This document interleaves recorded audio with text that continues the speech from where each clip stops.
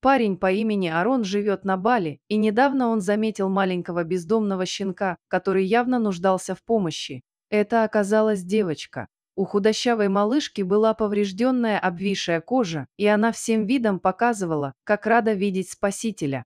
Арон решил помочь ей и отвез в ближайшую ветклинику. Там собачку осмотрели и назначали лечение от сильной чесотки, после чего парень забрал щенка к себе на передержку.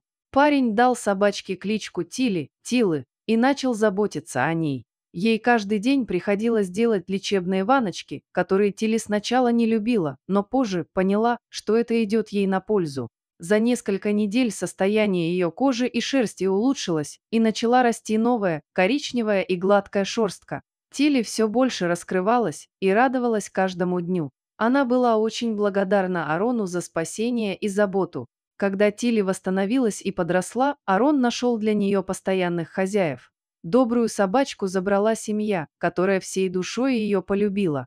Сейчас Тили – счастливая и любимая собака, которая наслаждается жизнью.